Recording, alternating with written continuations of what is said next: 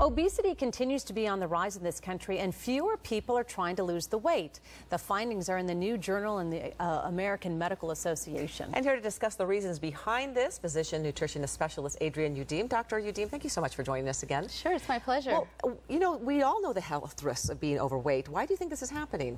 Sure. So there is this steady rise in excess weight that has been going on for decades, since mm. the 80s. And we are at a time where um, we're at the highest rates of obesity and overweight in our country. Over two thirds of our population is considered overweight or obese.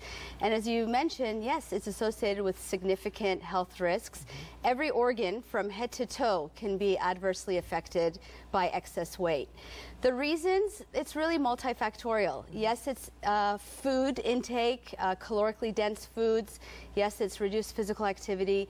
But there's a lot of new data now that shows that there are things in our environment, BPA, for example, that may change the way or the likelihood of us to gain excess weight. So there are environmental factors outside of those that we usually typically think of. Well, let's think about the social factors as well, because do you think a lot of people are not losing their weight because socially it's being more accepted? You know, that may be the case. I mean, it's almost cliche to say that obesity is an epidemic because we say it all the time and we've been saying it for years. I do think there's other things at play, though. Uh, we know that people who are overweight or obese are less likely to go see their physicians, mm. and so that's a missed opportunity to have the discussion. Um, we also know, unfortunately, that those that do go see their physicians don't necessarily always get the counseling. So um, physicians will report, and this is cited in studies, that they don't necessarily feel comfortable having that conversation, and they're not making, for the most part, the referrals to people who can provide those therapies. Wow. Okay. So that's uh, some physicians could actually, you know, discuss this with their patients more, perhaps. Sure. Learn that in medical school, maybe. Right. Well, let's talk about um, those who are trying to lose weight. You know, it's a struggle. Any tips? It is a struggle, and you know, it's not one size fits all. There's so many different ways to go about it.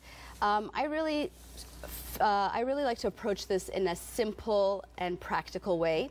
What I tell my patients is to make a list of the things that we can do and pick one at a time. Uh, too big of a bite is usually associated with lack of success. Um, a good one is packing your lunch. That's what Colleen does. She yeah, her salads and her, that's good. You know, a, a, another JAMA article that came out this year showed that the average calories in a restaurant meal is 11 to 1,200 calories. Mm.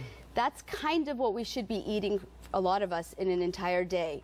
So packing your lunch the night before, it takes five or 10 minutes, and you can cut significantly your daily calorie load. Wonderful. Dr. Yeah. Youdim, thank you. And she packed me a lunch one time. I did. She's so nice. that is so nice. she doesn't want me to get fat, apparently. Oh, no, I'm kidding.